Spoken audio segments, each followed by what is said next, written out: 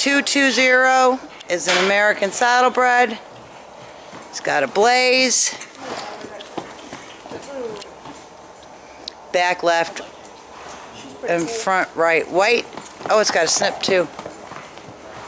Information will be on the website, www.ac, the number 4h.com.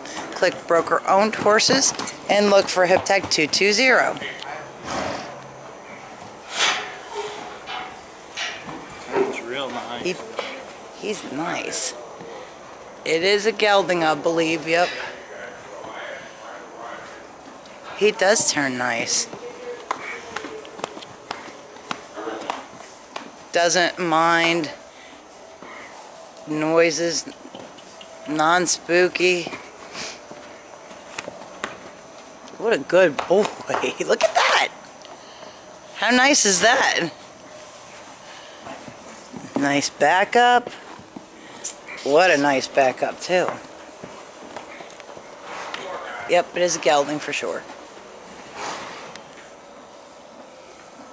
He's a nice horse. Real nice turn too. I wonder if he'll park out if you tap his shoulders. He probably would. What a good boy.